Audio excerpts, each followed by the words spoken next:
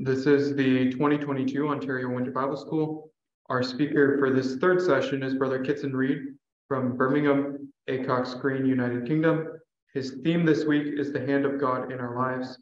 This is his second class in the subject for this class is in the declaration of his name.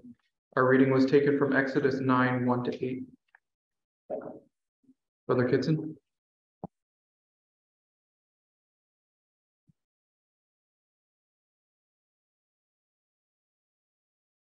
Good morning, brothers and sisters.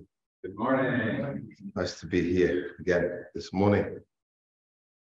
So, in our previous session, we underlined the fact that God, in His mercy and in His guiding hand, would show His hand in the lives of His people to teach them, to guide them, to mold them we looked at how the fact that God's people, that God saw fit for them to grow up in the womb of Egypt.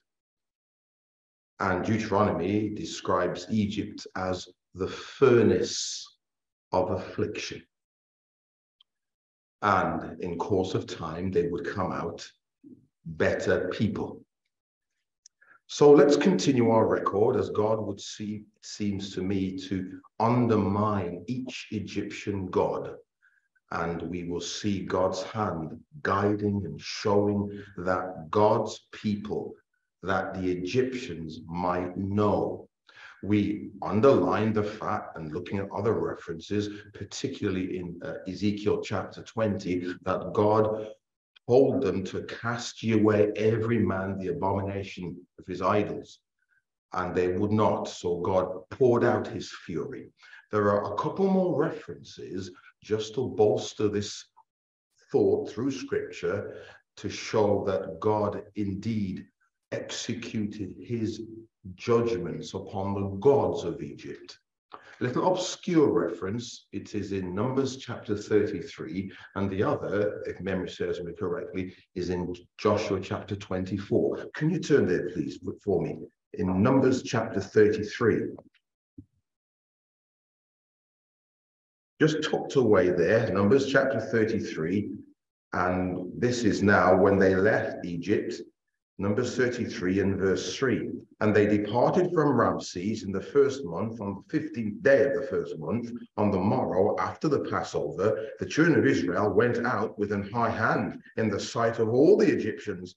For the Egyptians buried all their dead, their firstborn, which the Lord had smitten among them, upon their gods also the Lord executed judgments. And that's a very powerful verse, isn't it? To really drive home, brothers and sisters and young people, the fact that God, his intention was to undermine that all the earth might know that there is a God. And there is another one, actually, back there in uh, Joshua chapter 24, I believe because in, in, in Joshua chapter 24, you will know how the, the, the, verses begin in Joshua chapter 24, because actually it reminds us that even Abraham's family, incidentally, were idol worshippers. Did you notice that? Joshua chapter 24, verse 1 And Joshua gathered all the tribes of Israel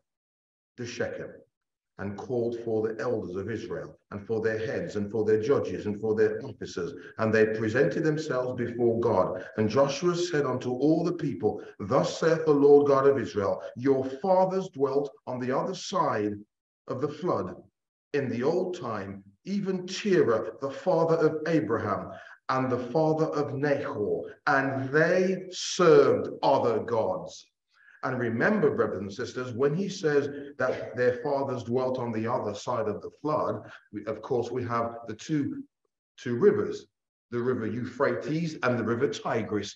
And slotted in between was the land of Ur, Mesopotamia, which means the land between the two rivers. And so the other side of the flood obviously has nothing to do with Genesis chapter 6. Not talking about that flood at all. The other side of the flood is the, is the great river. And your fathers dwelt in Ur of the Chaldees, the land between the two rivers, Mesopotamia, right there in Ur. And it is categorical, isn't it? Abraham's family served idols. We don't often think about that, do we? We don't often talk about that, do we? When was the last time you heard anybody talk about that? And I wonder if there's a wonderful, I wonder if there is a wonderful juxtaposition between Abraham's descendants being idols and verse 14. Look at this, brothers and sisters. Now, therefore, fear the Lord and serve him in sincerity and in truth, and put away the gods which your fathers served on the other side of the flood and in Egypt, and serve ye the Lord. What a powerful few sets of verses they are, brothers and sisters. Put away the gods that your fathers served on the other side of the flood Tigris, Euphrates in, in Mesopotamia, and in Egypt. It, it's as if the writer is saying these significant points in history. The calling of Abraham from Mesopotamia. And when they came out of Egypt, and Exodus says, in the context of the Passover, what does it say? It is a night to be much observed and these two weighty points in the history of God's people. It is tainted with idolatry. What a lesson, brothers and sisters. What a lesson. So, with those two verses, and I really wanted just to drive home those two verses, uh, coupled with Exodus chapter 20, which we looked at yesterday. And so what we said, didn't we? That the water being turned to blood, the frogs and the lice. All those plagues affected God's people in Goshen also. And the fourth plague, we said, only then, only then, it's from that point on, there is a division I will sever the land from these plagues because now they had learned. And the margin says, God says, I will put a redemption in, chap- in that chapter. I will put a redemption. From that fourth plague now, God had redeemed his people to himself. Isn't that beautiful, brothers and sisters? that God in his mercy will put us through the flames, will allow us to experience certain, things, but his mercy, behold therefore, as Romans puts it, behold therefore the goodness and severity of God. What a wonderful God we serve in his skillful hand to guide us and to bring us into places and situations and circumstances that will mold us and teach us and show us his hand. We need, brothers and sisters, I think, to pick up the record. We're going to go a little forward in uh, Exodus chapter 32, please, if you could go there. We're going to be going backwards and forwards and just to see how these lessons pan out in our lives. So, of course, we said, didn't we, that uh, Exodus, the, the land of Egypt, is very much a, plague, a place of death. And when we see this scene of death, when we see this uh, huge uh, tomb, you might say, it's typical of Egypt. So, what of the other plagues? we're told that in the reading that we had, we had the water being turned to blood, the frogs, the lice, the flies, the murrain on cattle. Well, the Egyptians, you don't need to tell me, brothers and sisters, and I don't need to tell you, that the Egyptians worshipped the Apis bull. And the history of the Apis bull is uh, very uh, striking. The bull is very much uh, worshipped. It was in the context of uh, sexual immorality, certainly. Uh, and amongst other things, with the revelings, uh, the blessings on the nation, and so on and so forth. You will fast forward in time, of course, to when the king, the uh, king to be, um, uh, Jeroboam, who made Israel to sin, remember. Uh, he came back from Egypt after the death of the king, and uh, he reared up two calves, remember. Remember, he got that worship back there in Egypt when he fled, when Solomon sought to take his life, you will remember. And he came back and he puts, he, he sets up two calves, doesn't he? One right up north in Dan and the other in Bethel. And he says to the people, you don't need to go to Jerusalem. Look, I'll, I'll bring the worship to your doorstep. You don't have to go far at all. You can save petrol, you can save water, you can save everything, save time, energy, everything. Just, uh, just go to Dan, go to Bethel, everything's good. Before you get to Jerusalem, no need. Dan, Bethel, and uh, introduce it there. And, and, and there is their origins in Egypt. Come across them, please, brothers and sisters, to, to Exodus chapter 32. You know it well. And uh, when the people saw that Moses delayed to come down out of the mount, the people gathered themselves together unto Aaron and said unto him, Up, make us gods which go before us. For as for the Moses, as for this Moses, the man which brought us up out of the land of Egypt, we wot not what is become of him. And Aaron said unto them, Break off the golden earrings which are in the ears of the, the wives and of your sons and of your daughters, and bring them unto me. And all the people break off their golden earrings which were in their ears, and brought them upon unto Aaron. And he received them at their hand and fashioned it with a graving tool after he had made it a molten calf and they said, These be thy gods, O Israel. Gods? Plural? Was there more than one? Casting. About to be fashioned. These be thy gods, O Israel, which brought thee up out of the land of Egypt. And when Aaron saw it, he built an altar before it. And Aaron made a proclamation and said, Tomorrow is a feast to the Lord. And they rose up early on the morrow and offered burnt offerings and brought peace offerings. And the people sat down to eat and drink and rose up to play. You might want to keep a marker there, brothers and sisters, and come across to 1 Corinthians chapter 10. Because in 1 Corinthians chapter 10, it reminds us as to really what was going on there. 1 Corinthians in chapter 10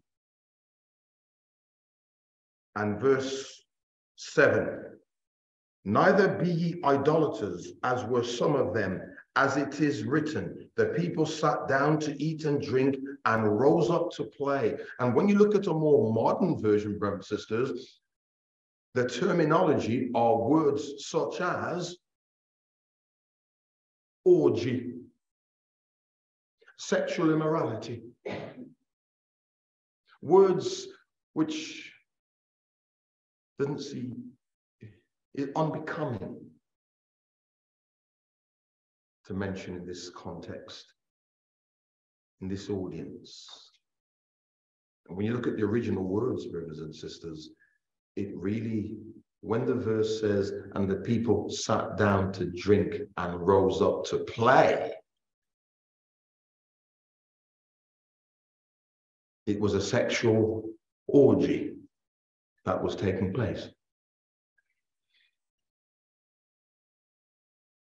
And that's what the Apis bull represented in their worship. And what a scene, a terrible scene, when God had done so much for his people. And as I said yesterday, it took 40 hours for God to get Israel out of Egypt and 40 years to get Egypt out of Israel. Exodus 32, it continues, please. Verse 11. And Moses besought the Lord. No, no, notice what it says in verse 7. And the Lord said unto Moses, Go, get thee down for thy people. Now we said in I said in to the young people, read with care. That's good, honest Bible study. Just simply read with care. Nothing is wasted. And the Lord said unto Moses, Go, get thee down for thy people, which thou, Moses, thy people, Moses, which thou broughtest out of the land of Egypt, have corrupted themselves, for they have turned aside quickly out of the way which I commanded them. They have made them a gold molten calf and have worshipped it and have sacrificed thereunto and said, These be thy gods, O Israel, which have brought thee up out of the land of Egypt. And the Lord said unto Moses, I have seen this people, and behold, it is a stiff necked people. Now, therefore, let me alone, that my wrath may wax hot against them, and that I may consume them, and I will make of thee a great nation. What a thing, brothers and sisters. God was so prepared to wipe them away and make Moses the seed again. I will make of thee a great nation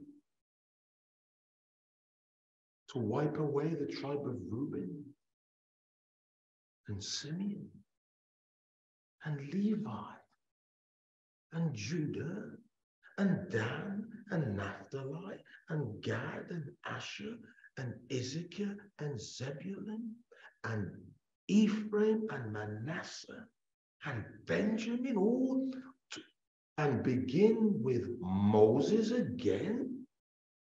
And Moses besought the Lord his God and said, Lord, why doth thy wrath wax hot against thy people, which thou hast brought forth out of the land of Egypt. Did you notice that, brothers and sisters?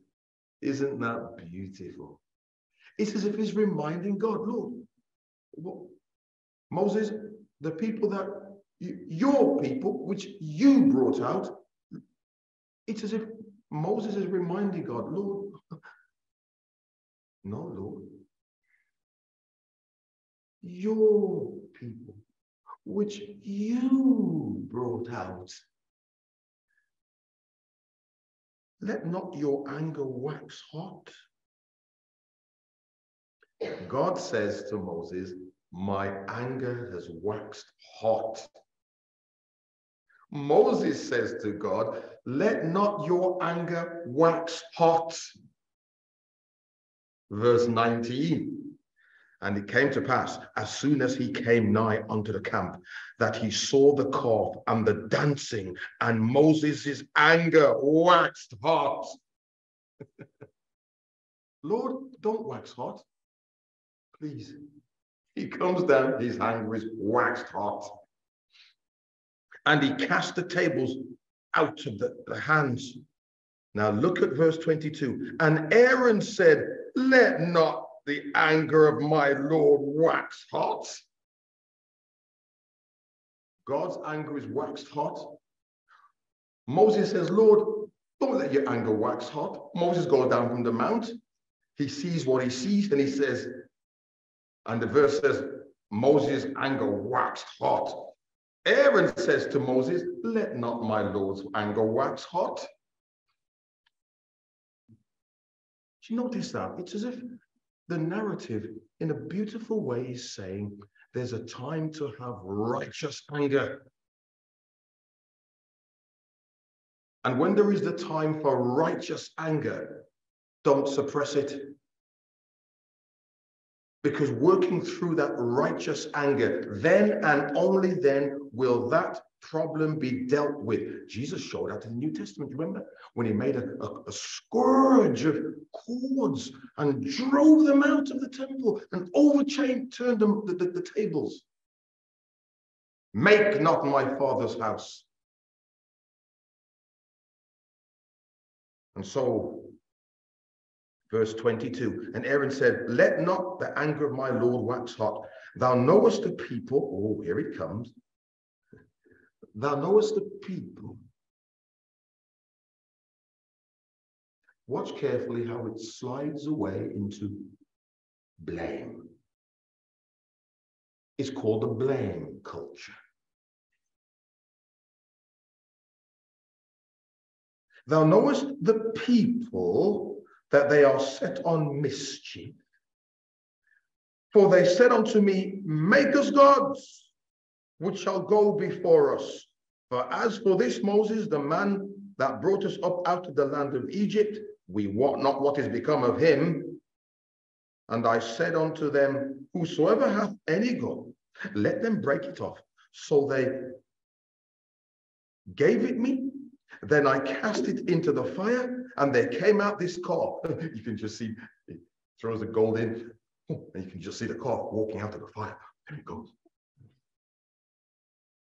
The chapter tells you in verse 4, in case we've forgotten, he fashions it with a graving tool. It is a specific point. He designs it, he fashions it with a graving tool.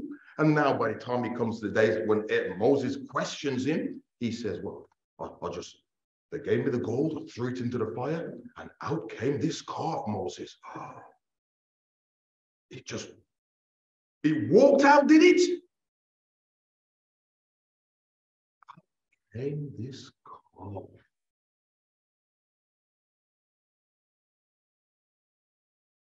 You see how excuses can sound foolish when we examine it under the light of God's word. And out came this calf. So here's a question for you, brothers and sisters. Can I just have a, a show of hands as to the, the, fact that uh, Aaron didn't die? Have you ever thought well, Aaron seems to have got off scot-free. Can I have a show of hands if you felt ever in looking at this chapter, well, it's as if Aaron just seems to just disappear in the shadows and the people are punished and it's as if Aaron seems to get off scot-free. Yes, I mean, yes, one, two, three. Okay, for those of you who are on Zoom, uh, can't see, uh, you know, a, a, a reasonable amount of people seem to think that. Now, this chapter, I'm going to show you a verse now, which is, is so beautiful. I haven't made a note of it, so I think it's in Deuteronomy chapter 9. Have a look, please, at Deuteronomy chapter 9. Uh, keep it marked in Exodus 32 now that, now that you've lost it.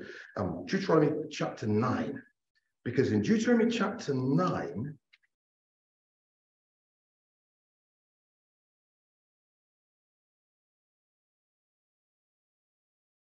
it is the reference to do with, yes, it is Deuteronomy chapter 9. And I think whenever we read Exodus 32, please, please, please slot in this, these few verses here. Because God was about to slay Aaron. But look what this verse says in Deuteronomy chapter 9. Verse 19 For I was afraid of the anger and hot displeasure wherewith the Lord was wroth against you to destroy you. But the Lord hearkened unto me at that time also. The context is in verse 16. There it is molten calf. And I looked, and behold, ye had sinned against the Lord your God, and had made you a molten calf. Verse 19 For I was afraid of the anger and hot displeasure wherewith the Lord was wrath against you to destroy you. But the Lord hearkened unto me at that time also.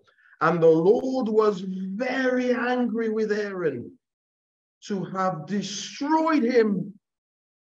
And I prayed for Aaron also the same time. Now, in our dis discoveries, brothers and sisters, of God's word, please put a note, however you want to remember it, in Exodus 32, that Aaron was on the cusp of destruction. And God's people were on the cusp of destruction. And God was going to start again with Moses. So let's not from now on think in, in any way, shape, or form that in some strange way that Aaron sort of just disappeared out of chapter 32 and that everything was all right and God's fury was poured out upon the people. He was the instigator. He was the ringleader. He should have known better. To whom much is given, much is required. Knowledge brings responsibility. And he was about to be destroyed. But Moses prayed for Aaron. And God heard his prayer. And Moses prayed for the people. Notice what it says I was afraid of the anger and hot displeasure because God was about, verse 19, against you to destroy you. What a thing, brothers and sisters. What a thing that is. Let's go back, please, to Exodus and chapter 30, uh, uh, uh, Exodus and chapter 7. We've been working our way through the plagues. We've looked at chapter 9, pardon me, in the context of the this bull being destroyed in Exodus chapter 9. And look then at verse 13. the Lord said unto Moses, Rise up early in the morning and stand before Pharaoh and say unto him, Thus saith the Lord God of the Hebrews, Let my people go that he may serve me. For I will at this time send all my plagues upon this thine heart, and upon thy servants, and upon thy people, that thou mayest know that there is none like me in all the earth. For now I will stretch out my hand, and that I may smite thee and thy people with the pestilence, that thou shalt be cut off from the earth. And in very deed, for this cause have I raised thee up, for to show to thee my power and that my name may be declared throughout all the earth. And, and that's very illuminating, isn't it, verse, brothers sisters? That, that verse is a, a sort of Daniel-esque sort of verse, isn't it? The kings that came up before Daniel. We have the Babylonian Empire. Then we have the, the, the, the silver, the, the, the the Tuon, the Medo-Persian Empire, right? And all their leaders. Then the Greeks, and then Rome, the legs of Rome, east and west. And that is it, isn't it? The rulers of the nations, they come and they go. And God is there behind the scenes, working amongst the nations. The leaders of the world are put in place to bring about God's plan and about uh, God's purpose. Then they're taken away off the scene. And in very deed, for this cause have I raised thee up, or to make thee stand. The margin says you may have it to make thee stand, Pharaoh, to show in thee my power. It's as if God is saying, I've raised you up, Pharaoh,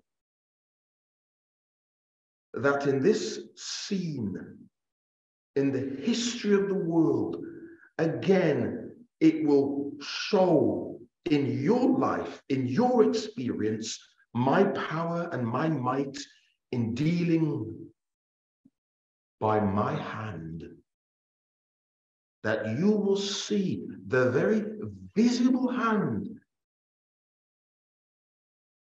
of my existence.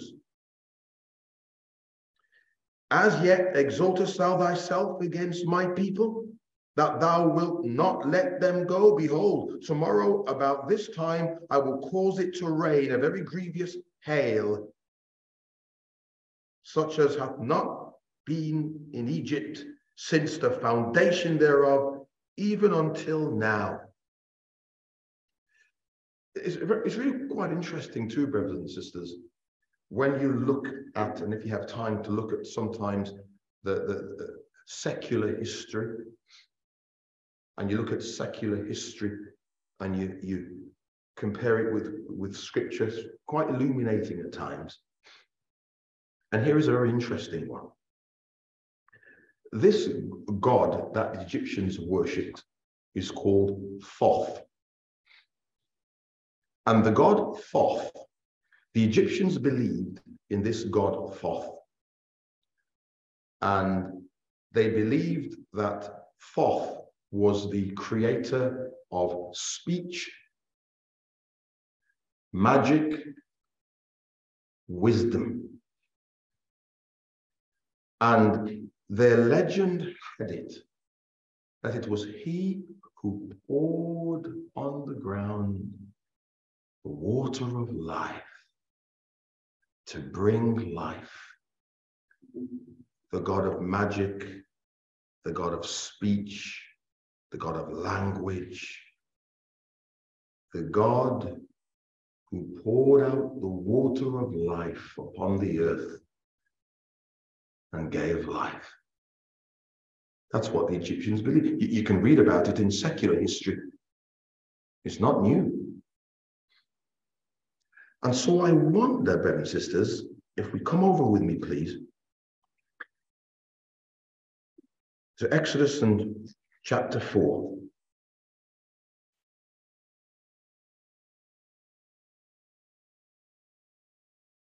And verse 9 I am just so convinced, brothers and sisters, that because Moses knew of these legends and knew of the beliefs of the, of the ancient Egyptians, I wonder if this is exactly again God putting his finger on the pulse of the problem. Exodus 4, verse 9. And it shall come to pass, if they will not believe also these two signs, neither hearken unto thy voice, that thou shalt take of the water of the river and pour it upon the dry land, and the water which thou takest out of the river shall become blood upon the dry land. And Moses said unto the Lord, O my Lord, I am not eloquent. I'm not a man of words, neither heretofore, nor since thou hast spoken unto thy servant, but I am slow of speech and of a slow tongue. And the Lord said unto him, Who hath made man's mouth? Brackets. It's certainly not Thoth.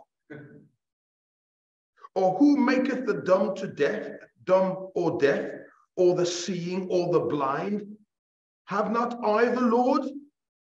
Now therefore go, and I will be with thy mouth and teach thee what thou shalt say. And he said, O my Lord, send, I pray thee, by the hand of him whom thou wilt send. And the anger of the Lord was kindled against Moses. And he said, Is not Aaron the Levite thy brother? I know that he can speak well. Oh, we said with our young people, brothers and sisters, yesterday and today, never ask more than, never read more than three verses without asking yourself at least one question. Here's my question Why does it say, I know that he can speak well? What an interesting question. I put it to you, brothers and sisters, that in the midst of Goshen,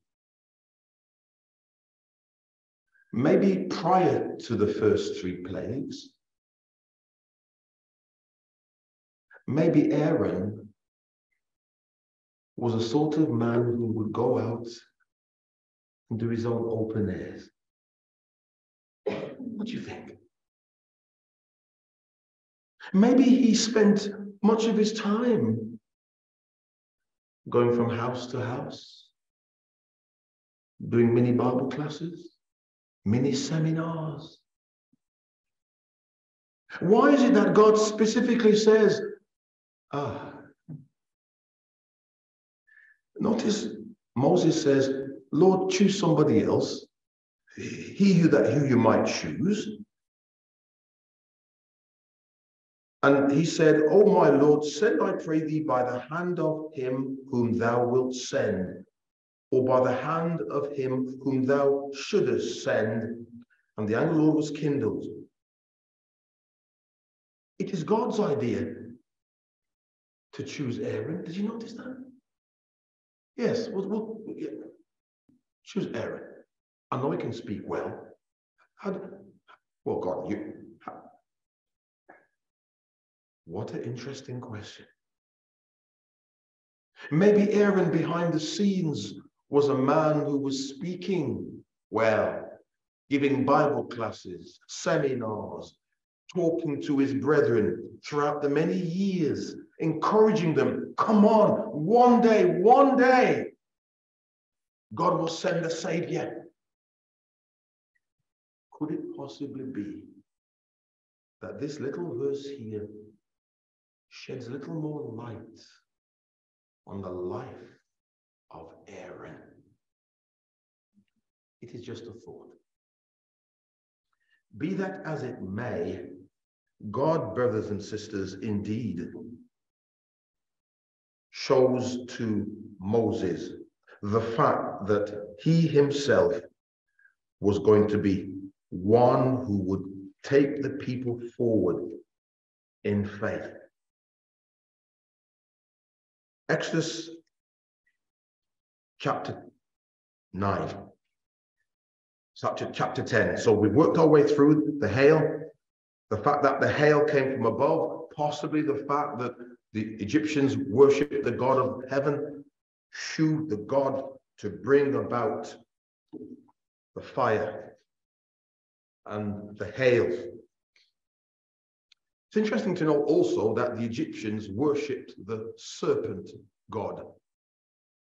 You will remember on the headdress of Tutankhamun, there were two creatures, the falcon and the serpent. And you remember when they went in and they cast the, the, the, the Aaron's rod down, it became a serpent. And then the verse says, and the Egyptian magicians did also likewise, and they threw down their rods. And then we are told that Aaron's rod swallowed up the rods of the Egyptians. So, how do you understand that? I've got no doubt in my mind that the Egyptians didn't have the power of, uh, of, of, of, life. Could they do something with, with these, their rods, to maybe, well, there were maybe, I reckon there were serpents in disguise, don't you? And maybe they could do something to these serpents to bring about a sort of rigor mortis state, I don't know. And they would throw it on the floor and, oh, oh, oh, and it would start to wriggle around, I don't know. But the point is, there were dark arts that the Egyptians could do. We're told that they also could turn the river into blood or something that looked like blood. And they could also bring the frogs out of, they couldn't reverse it though, they couldn't reverse it. They could bring the frogs out but later on, they couldn't with the lice. This is the finger of God. And so it could be, brothers and sisters, that maybe. Now, what is interesting is when you go to Egypt today, they have it. You know, in, in England, we might have gargoyles, you know, to ward off evil spirits. Here, they would have the serpent, right? Uh, and, and, and the inscription would say, to deal death to deal death to our enemies. To deal death to our enemies. And so when we are told in the chapter that their serpents were swallowed up, is that a reference to 1 Corinthians chapter 10? You're there already. Death is swallowed up in victory. And it's a quote from Isaiah chapter 25, but we won't go there because of time. Talking about time, how do I have left, brother? Totally lost track of time. Amen. 10 minutes, thank you. To deal death. So death is swallowed up in victory. So that which would bring death is swallowed up in victory. O death, where is thy sting? O grave, where is thy victory? And here's an interesting question, brothers and sisters. If we had time, maybe we might pick, pick this up tomorrow, God willing, which is this. Out of all the things that God could choose to represent his power, chooses a serpent. There's much more to that, brothers and sisters, much more to that. But maybe that's for another time. So, the uraeus is the Greek word for the rearing cobra that often appears on the crowns of pharaohs as a symbol not only of their power, but of the protection of the goddess Edjo, who was represented as a cobra. If we had time, we could look at the fact that today there are uh, things which can detect hailstones. A thunderstorm that pummeled Aurora, Nebraska on June the 22nd, 2003 left several grapefruit-sized hailstones like this one in its wake, including a new record holder. So we have now, we move on to the plague of locusts. Did you know, brothers and sisters, that the, um, the Egyptians worshipped a god called Saragia. And Saragia was a god that protected the land from locust. Well, we can definitely see God's hand here. The largest ever swarm of locusts was recorded in 1889 around the Red Sea in Egypt. Scientists of the day estimated it contained 250,000 million locusts and weighed 500,000 tons. and anything's green in the land, it is gone. Locusts can fly 6,000 miles on an empty stomach. So, in case you miss all that information, let me give you a little bit again. If you can see that. The plague, the advance warning. Now, you need to read carefully to see, brothers and sisters. There was a warning, there was a warning, there was no warning. And there was a warning. The Egyptian god, it was aimed to undermine Hapi, the god of spirit of Nile, the frog, Hika, Seb, lice, Beelzebub, the god of the flies, general effects, the effects on Israel. Those of you who've got a, cell phone, you might want to just take a quick photograph of that if you want to. And maybe some of you youngsters and just send it around. It's up to you. If not, I can uh, work out giving you these slides after. It's not a problem. Egyptian leaders, how it affected them, the effects on Pharaoh.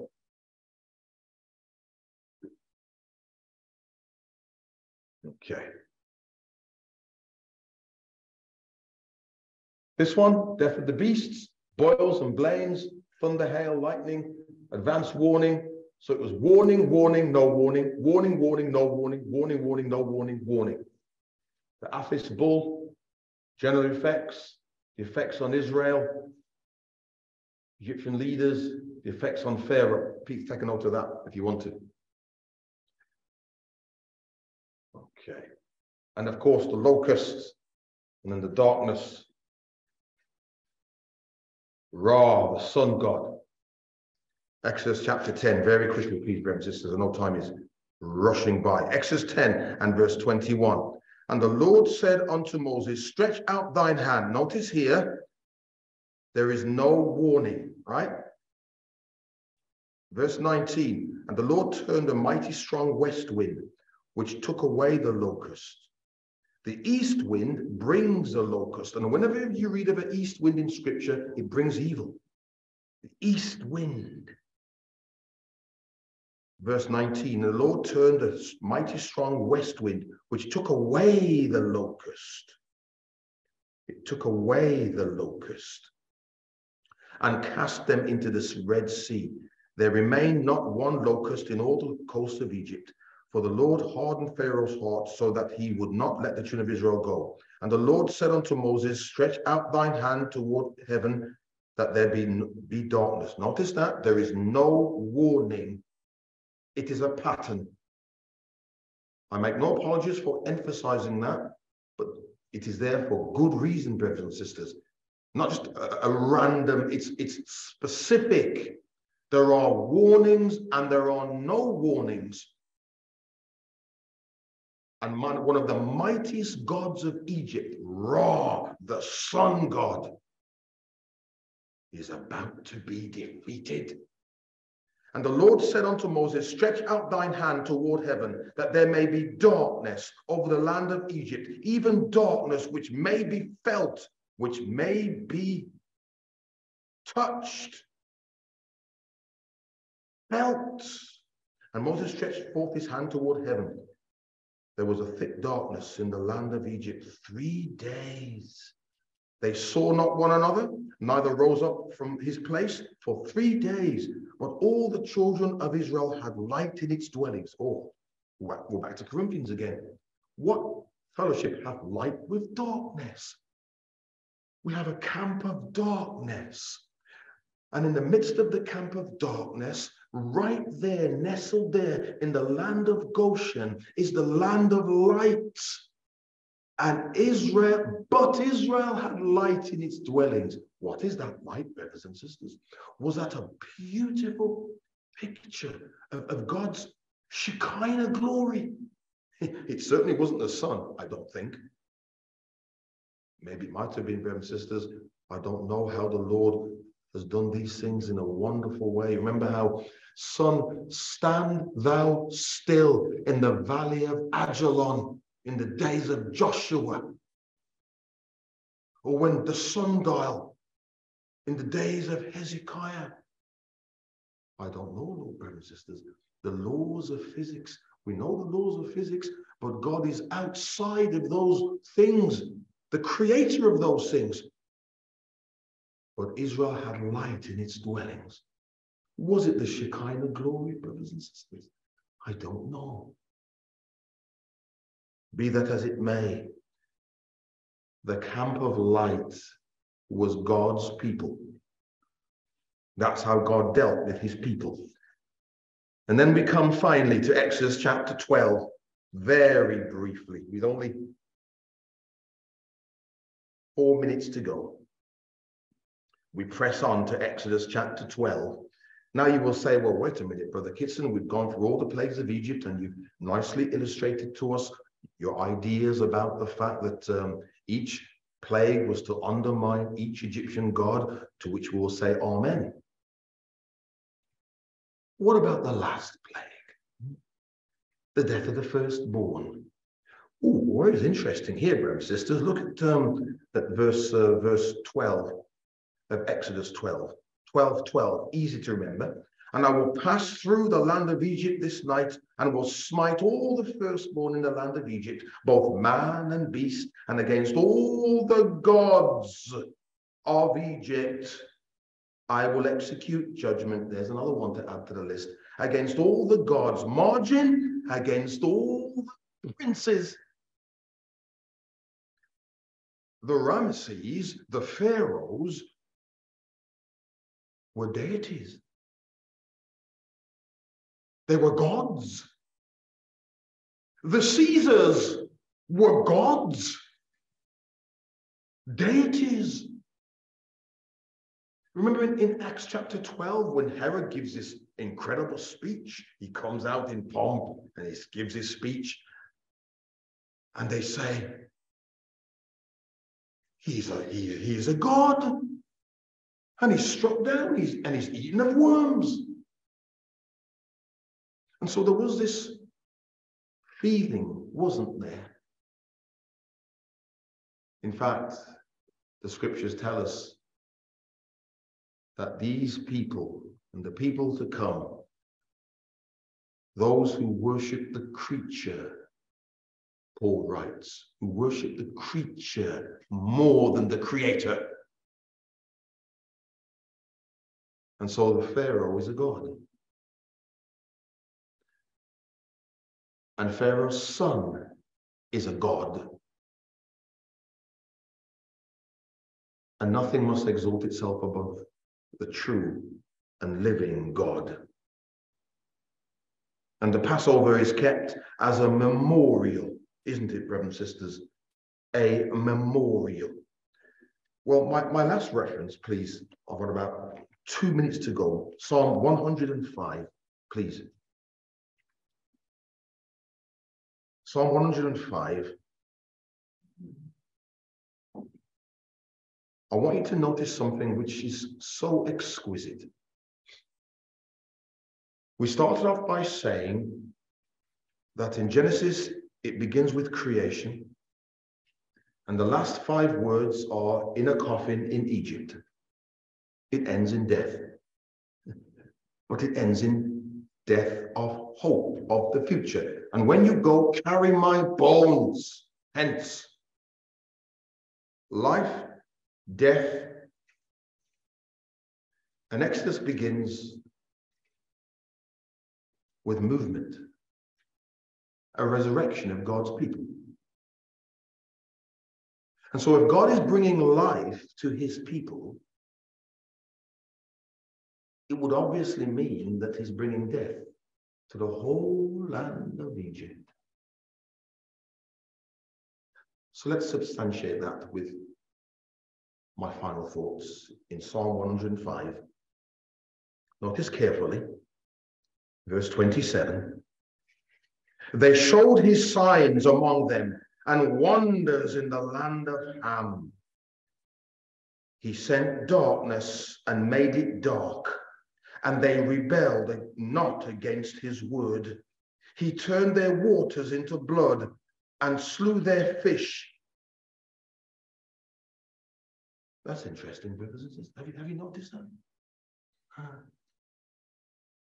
Never read more than three verses without asking yourself at least one question. Did the psalmist get it wrong? Uh, did, the, did, did the psalmist get it wrong? Did he forget the order of the plagues? Water being turned to blood, frogs, lice, flies, on cattle, boils, hail, locusts. Darkness is the ninth one. Ah, why does he mention the ninth first? And then the first second?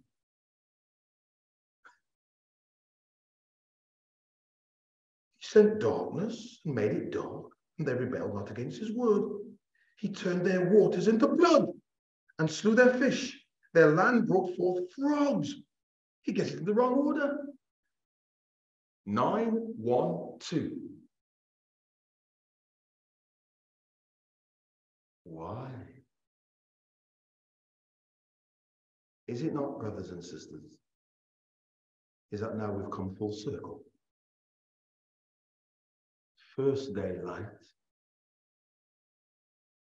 second day heavens, third day dry land, trees and plants. It is a destruction for Egypt. In the beginning, God, and God said, Let there be light. Why God is saying, I'm bringing darkness to Egypt.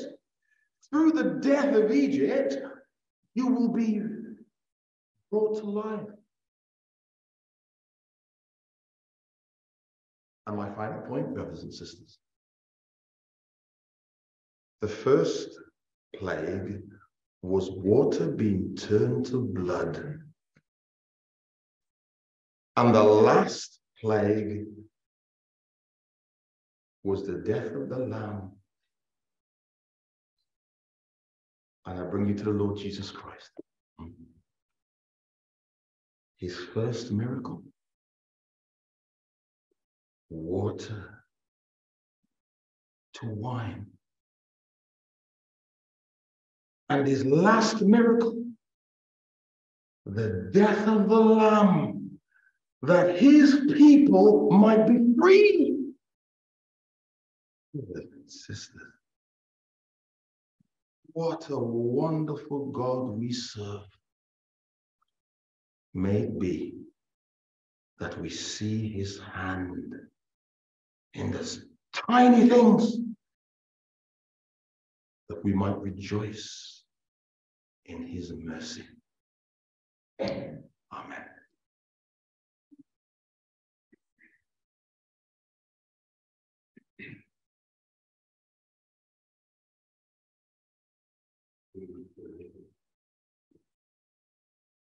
Thank you. Thank you.